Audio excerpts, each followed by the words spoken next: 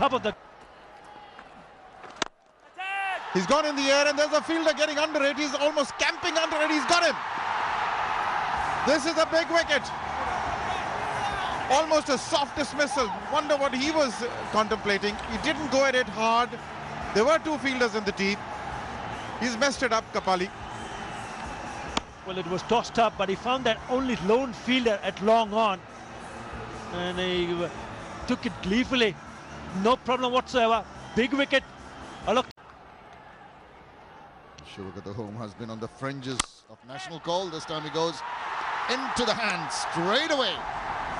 Loses out, trying one shot too many and paying the price. Nabi's the man. Nabi has got his second victim of Barisal Burners. First the captain, then Shivu Galcha. That was pitched in line and he went for a wild swing towards mid-wicket but just found that guy within the circle. A big blip here for Burners.